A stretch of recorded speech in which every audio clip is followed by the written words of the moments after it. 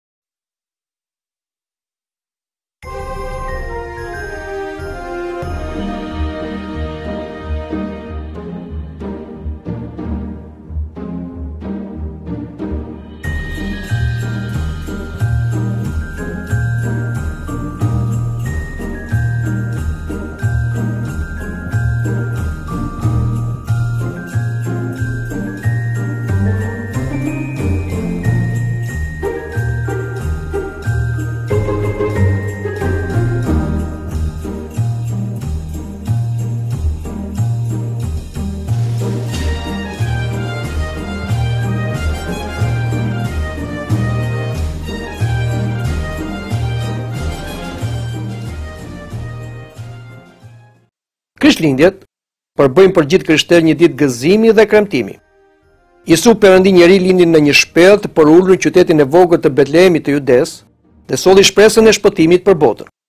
Por pse e kremtojmë lindjen e Zotit tonë më 25 dhjetor?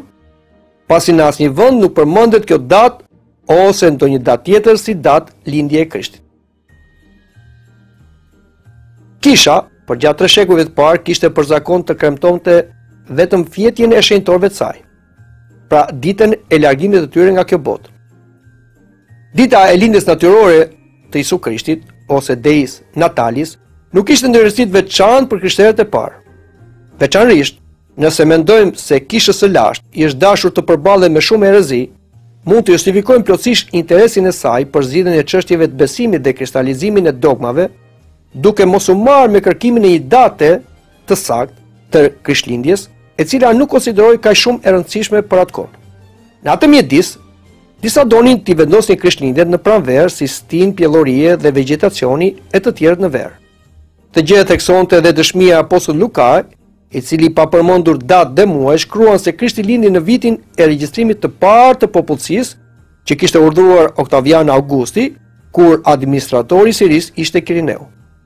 Përfundimi që del është se nuk mund të bëhej një regjistrim në dimër, sepse populli që do duhej të udhëtonte për t'u regjistruar, si në rastin e Josifit me Virgjëreshën Mari që ishte shtatzënë, do të vështirësohej shumë.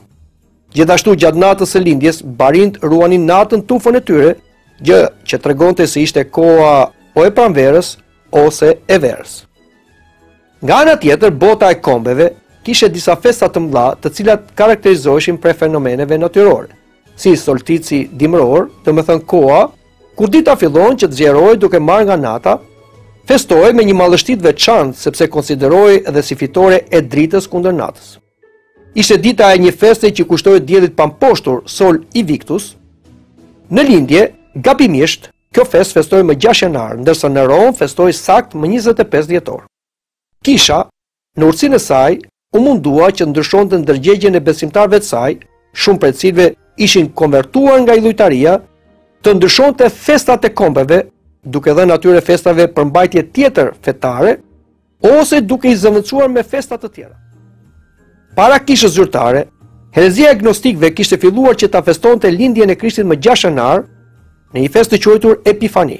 Por kjo festë nuk kishte lidhje me lindjen natyrore të Krishtit në Betlehem të Judesë, por sipas tyre me lindjen në Jordan, sepse gnostikët besonin se hyjshmëria hyri tek njeriu Jisu.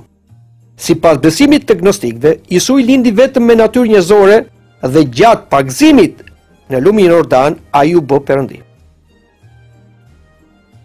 Rreth viteve 300 pas Krishtit, Kisha Katolike Apostolike futi në adhurimin e saj një të kremte me të njëjtin emër, pra Epifani, e cila kremtohej gjithashtu më 6 janar, por ishte një kremte që kushtohej si lindjes trupore, ashtu dhe pagëzimit të Isu Krishtit, Kjo e kremte duket se ka nisur në kishën e Aleksandrisë dhe më pas është përhapur në të gjithë lindjen.